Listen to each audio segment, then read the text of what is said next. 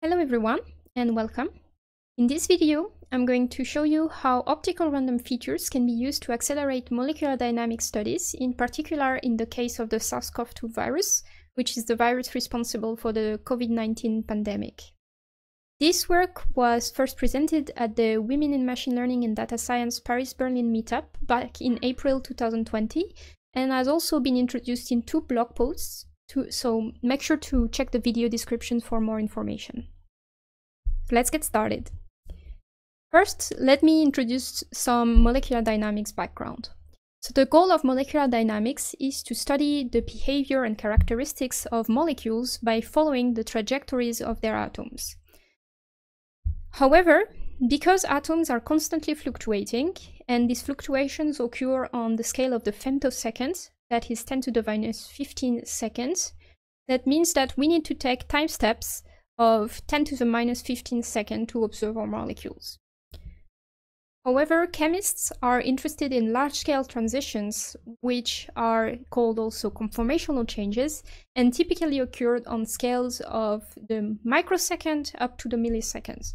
So that means that we need to take more than a billion time steps in order to observe one of those transitions. Because of that, methods have been developed in order to enhance sampling, that is, the exploration of all the different shapes a molecule can take, as well as the energy associated with this molecule. So to illustrate this point, let me introduce you to Remy the rat. So imagine that we have a rat, here is called Remy, and he lives in a world that is filled with holes, and we want to be able to say where the holes are and how deep they are. However, we are not able to see them ourselves. So what we can imagine that we do is that we attach a GPS tracker to Remy's back and we let him wander around. At some point, Remy is gonna fall in some hole and we're gonna know that he's trapped because in our, on our GPS tracker, we're gonna see that his position is not changing for a long period of time. And so once he's trapped, we imagine that we have some kind of machine that pours some water so that Remy floats and at some point is freed from the hole. So after some time, Remy will have observed all the holes, and we know how deep, they, how deep they are by knowing how much water we poured in order to free Remy. And so that's the ba basic idea of enhanced sampling methods that are performed by chemists so that they can eh, observe transitions between uh, one state to another. However, there is a way to make such methods more efficient and that's using NEWMA, which I'm gonna detail in the next slide. And this boils down to, instead of having just the GPS tracker on Remy the rat, we also attach an accelerometer. This way, we can say that Remy is trapped not because we've been looking at our coordinates and we've seen that he hasn't been able to move for a while, but also because we saw on the accelerometer that he had a fall before, and so we know that that means that he is in a hole. But so, what is NEWMA?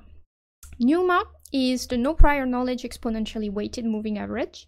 And so let me explain what it is exactly. So let's start with EWMA, which is an online change point detection algorithm. The idea behind EWMA is the following. So we have a, seri a series of points, xt. In our case, those points will actually be vectors that contain, for example, all the coordinates of all the atoms of a certain molecule that we're studying. And we want to know when some kind of change is happening in this series.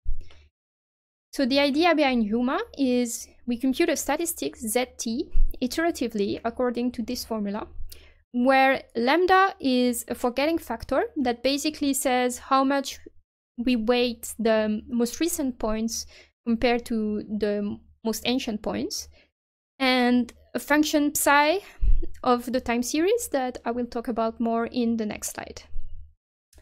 So having computed these statistics, we say that there is a change point once our statistics becomes too different from a certain in-control value. The problem of this method is that this in-control value and this threshold needs to be user-defined, and we have no way of knowing if some values that work well for a given dataset will work well for another dataset which is not very satisfying if we want to use something that would be valid for any molecular dynamic studies. To remedy this issue, the authors of the NEWMA paper introduced the following idea, Instead of computing just one statistics, we compute two of them with different forgetting factor, and we say that there is a change point if the difference between these two statistics become larger than a certain threshold that is calculated adaptively. Moreover, the authors also give ways to calculate these forgetting factors and this adaptive threshold um, according to heuristics that will always be um, well defined for a given dataset. Because of that, this method required no prior knowledge of the dataset, which is where the n comes from in NEWMA. So now let's talk about this function psi. Well, the authors of the NEWMA paper also say that a good choice for psi is to use random features. Random features can be computed either using CPU-based algorithm, such as random Fourier features or RFF, or Fastfood, FF, but we can also compute them optically using random projections that are computed on LightOn Aurora OPU. So now, let's say see how this can be applied to molecular dynamics.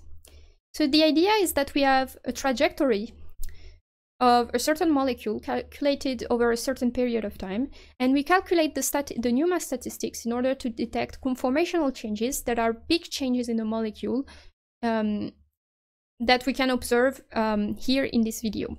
So as an example, this uh, trajectory has been produced by the supercomputer Anton. It is a trajectory of the SARS-CoV-2 virus, which comprises uh, a little under 47,000 atoms.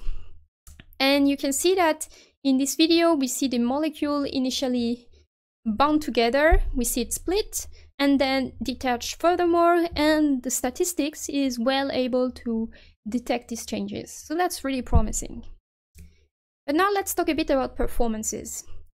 In this plot, we, we compare the performances of NEWMA uh, using CPU-based algorithm to compute, to compute random projections versus uh, using the Aurora, the LightOn Aurora OPU to compute random projections. And as you can see, even though for small number of atoms, the OPU is faster, but not that much. As the number of atoms grow larger, the difference also grows larger. Moreover, the LightOn, using the LightOn Aurora OPU to compute random projections also has a huge advantage, which is, which is it has a much lower memory footprint. Indeed, when we use CPU-based uh, algorithm, we need to somehow store the random matrix used to make random projections, and that costs a lot of memory. However, in the case of the LightOn OPU, it's literally the optics that does uh, the random projections, and so there is no need of storing the matrix. Because of that, we are even able to work on much larger scale. So remember the trajectory that I showed you before? Well, the Anton supercomputer also produced the same trajectories but including all the atoms that surrounded the proteins. So not just the protein itself, but the water atoms, the ions that were around, everything. And that amounts to over 700,000 atoms, that is over 2 million features, since each atom has three uh, coordinates. And even with that, we are able to analyze and predict correctly when changes are happening in this structure. Now you might be thinking that 700,000 atoms is a lot. However, molecular dynamics trajectories usually deal with the millions of atoms, and it is even predicted that in the future they will be able to simulate over billions of atoms. So 700,000 really isn't that much, and we'll be ready to analyze them using light LightOn Aurora OPU. The takeaway message of this presentation is that NEWMA is a great way to detect conformational changes that are large-scale changes in mole molecular dynamic simulations and to help explore the energy landscape of these molecules. And we saw that optical random features are particularly well suited to this task because of their speed, but also the fact that they have virtually no memory cost. Thank you for your attention and I invite you to check the video description for more information and in particular for the link to the blog posts and check the references here if you have any interest in the subject.